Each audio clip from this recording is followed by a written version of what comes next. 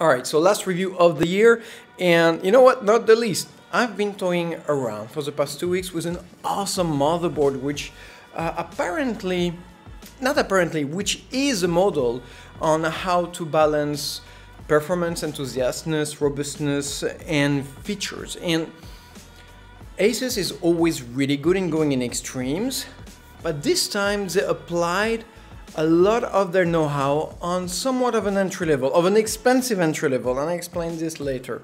Uh, today we are reviewing the Prime X299 Deluxe 2.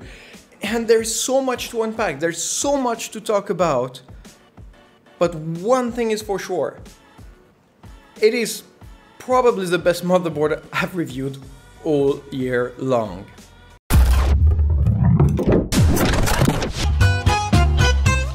Because the X299 chipset has such a longer lifespan than any other chipset, such as the Z370 or Z390, which only lasts about 10 to 12 months, it really gives the opportunity to manufacturers to focus and instead of releasing new chipset motherboards, to evolve the existing series. For example, uh, we had the Prime X299A, which is an entry level uh, for that series. Then we had the Prime X299 Deluxe, which is the same chipset with the same features, and really they are the very same motherboards, but the Deluxe tried to um, bring in a couple more features and some design improvements. But when you go to the Deluxe 2, when there is enough time and room for Asus to release a Deluxe 2 it's not just some improvement. It usually comes with a full redesign, a full reshape of the motherboard on the very same chipset, and the very next generation of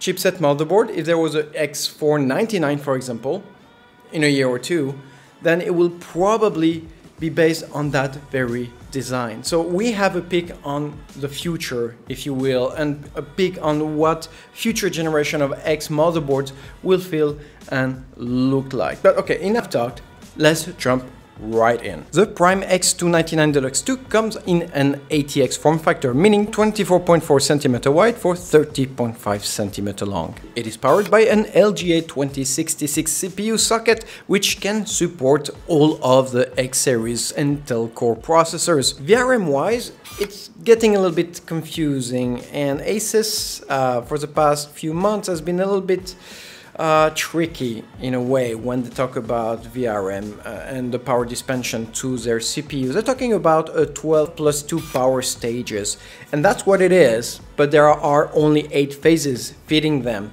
So no big improvement compared to the Prime X299A and Deluxe. I do not foresee any kind of thermal throttling. I think this board can handle absolutely any kind of CPU and almost any kind of overclocking you want to throw at it but I will regret the fact that Asus is not really, really being super honest when it comes to describing how many phases there are on the board. So again, 12 uh, power stages, sure thing, but only 8 phases. Important point. Memory-wise, if you are running on a 4-core CPU, your board will be running in a dual-channel RAM configuration, which can support up to 64GB of DDR4 RAM, overclockable up to 4.266 GHz. But if you are running a CPU with 6 cores and more, then your board can support a quad channel configuration and up to 128GB of DDR4 RAM, overclockable as well at 4.266 gigahertz and that is in both cases 133 megahertz more than available in its two predecessors the Prime X299A and the Prime X299 Deluxe. So many names to remember, one day I will go mad. Storage-wise, our board can support up to 3 M.2 solid-state drives, and I say finally, I mean usually at that level, uh, you have ASRock and MSI who are going on the 3-way M.2 solid-state drive configuration. I am excited and happy to see it finally on a Prime series. And yet another improvement that we've seen on the smaller Z390 series motherboards with Asus, the very fact that our chipset is now separated from our M.2 solid state drive heat shields.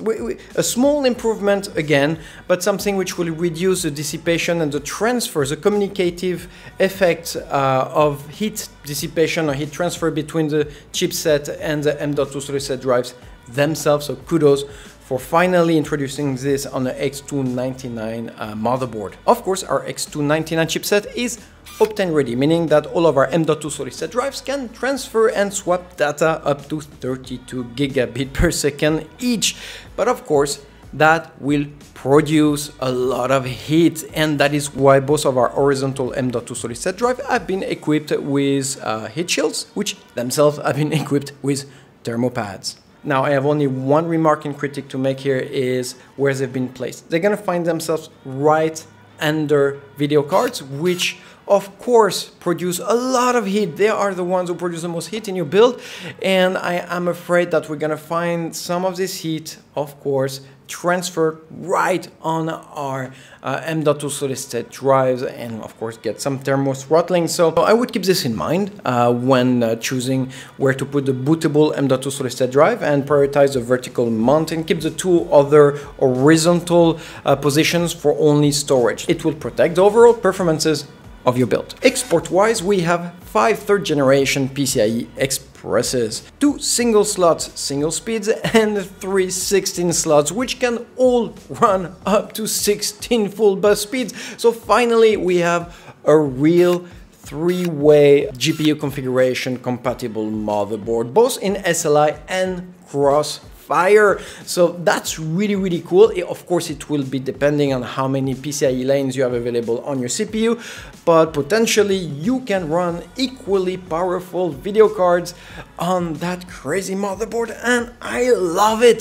And of course, that is why the three 16 lane slots have been metallically reinforced. Moving on, we have eight third generation SATA plugs, which can all transfer up to 6 gigabit per second. I-wise, first let me note that unlike its predecessor, the Prime X299 Deluxe 2 comes with an integrated IO shield, which I absolutely love. And starting from the left, we have two second generation USB plugs which can transfer data up to 480 megabit per second, four 3.1 first generation USB plugs which can transfer data up to 5 gigabit per second. We have two Ethernet plug, one which can run up to 1 gigabit per second, and the second one which can run up to 5 gigabit per second, which I absolutely love and which was not present, of course, on the Prime X299A and X299 Deluxe. So a great upgrade, but this is not the most exciting stuff on this IO Shield, believe it or not.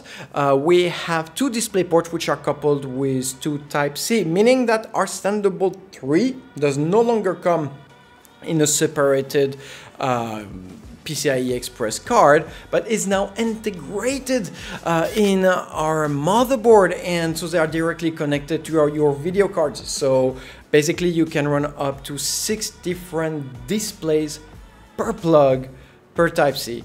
This is awesome. This is probably a game changer because I've never seen it on any X or X299 motherboards.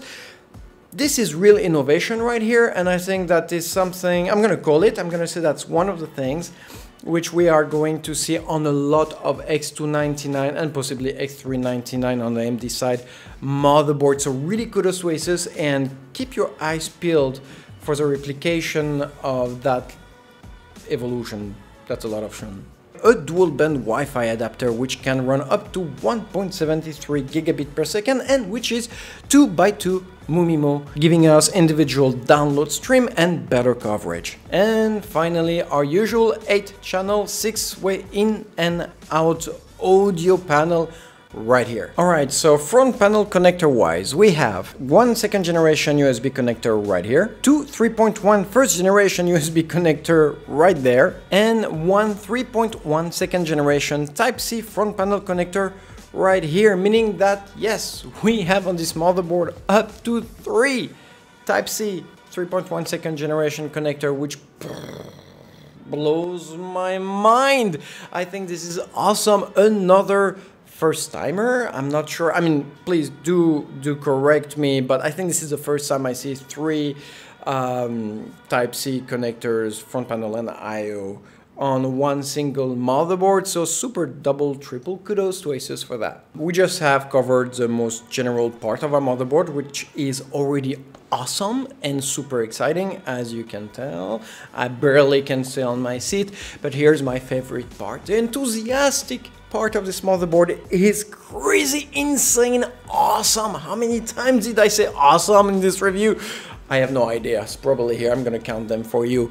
And starting with the fan, this board can support up to 7 PWM fan connectors, two of which can be used for all-in-one and a full-fledged water pump. So yes, you could potentially uh, run a two-loop custom water cooling system, which is awesome. We also have one thermal sensor right here, two Aura compliant RGB connectors right here, and one addressable Aura compliant RGB connector right there. Yes, I have put the fan connectors and the RGB connectors in the same section simply because Asus has provided with this motherboard another extension, a hub extension, which they call the fan extension card 2. It's basically uh, what we had before in the previous models, with more connections onto it. So we can pass from 7 to 13 uh, PWM fan connectors, 4 thermosensors and 5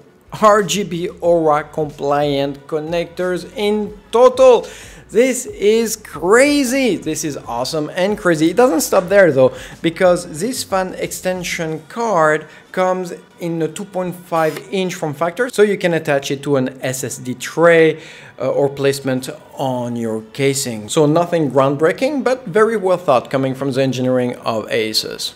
Kudos. Going back on the aesthetics, let's not forget that we have two RGB Aura compliant strips which are nested onto a motherboard, one right under our I.O. roofing and one under our chipset. And they look, you've guessed it, awesome. Moving on, we do have a Q-code error screen right here, which will allow us to monitor the different error codes that our build will throw at us and which will allow an easy troubleshooting. But in addition, it is paired with a 2-inch Live Dash OLED screen, which is gorgeous. The definition is absolutely amazing it'll give us the usual uh, information uh, that Live Dash usually give, meaning frequency of the processor, even the voltage that you are feeding to your processor in overclocking configuration, and the fan RPM. So it's really focus onto what your CPU is doing at all time. And the fact that it is two inches big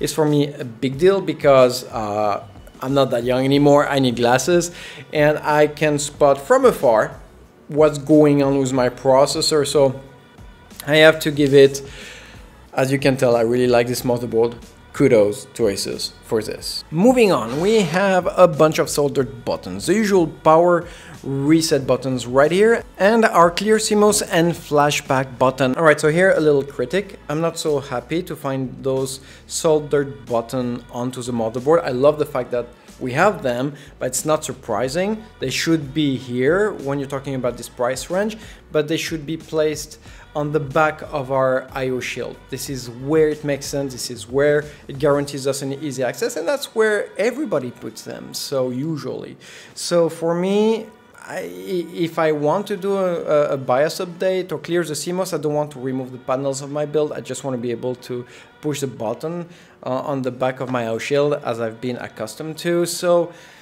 not too happy about this, I have to admit. And finally, we have an easy debugger, debugger hamburger debugger debugger RGB LED lights right here which will inform us on what stage of the boot our boot sequence is. Uh, I love this. I think that, again, for troubleshooting, coupled with the QLED error and, and the dash, uh, it really helps us to uh, get our build running and rerunning if it break down uh, during the history of the world.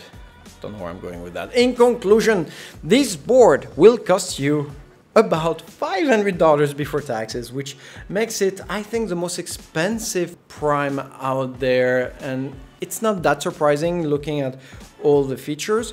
But I'll say this, I love this motherboard. I'm not so happy about the pricing, but when you see what's in there, it does not surprise me one bit. I mean, it's not all happy, cloudy, beautiful. Uh, there are a few critics, as I mentioned earlier. I'm not so happy about the positioning of our buttons. I'm not so happy about the positioning of our M.2 solid state drives, horizontal ones. And uh, basically, I think a little bit that it, I think that it was a bit deceptive from Asus to talk about 12 power phases when you have only 8 VRMs, which are plenty enough. So again, needless to talk about 12 power phases. Uh, that that that that made that was completely useless. But none of those are deal breakers. This motherboard can push any processors to its absolute limit. The robustness, the engineering of this board is absolutely amazing. Um, you have real initiatives, you have real uh, innovations. For one, you have the fact that you have a dual Thunderbolt 3.0 uh, built in the IO Shield. Uh, I love this. Uh, yeah, well, the IO housing, uh, I love this. We have a better heatsinks design, both uh, for the VRMs and the separation between the chipset and the M.2 solid state drive heatsinks. And finally, uh, another novelty is the fact that we have a second Ethernet, which can run up to 5 gigabit per second. Awesome, awesome, awesome. And it does all that, keeping whatever made the Prime X299A and Deluxe such a good motherboard. For one, it keeps all that stuff in ATX form factor, not EATX, meaning it's, it's not small, but it's definitely compact enough to put in any kind of case or 99% of the cases out there. And that I think is really important when it comes to the good design of a good motherboard. And of course, the Prime X299 Deluxe 2 is equally, equally targeting uh, gamers, enthusiast builders, and workstationers. I mean, you can run up to three 16 full bus speed video cards, which is absolutely awesome. You can run two or one uh, custom water cooling uh, configuration on this stuff and of course you can overclock your processors to the moon without having any fear or any thermal throttling it's just a performant monster. So yes, it's a winner. It's, like I said in the beginning, the best motherboard I've reviewed all year. Uh, just five days away from 2019. And, you know, for 500 bucks, I know it's not a small price tag, but if you're going to an X299 powered build, let's face it, money is not the biggest issue here. You're definitely going for more expensive components. And after reviewing this particular board, I don't think there's anything I'd rather see in my build. Yeah. All right.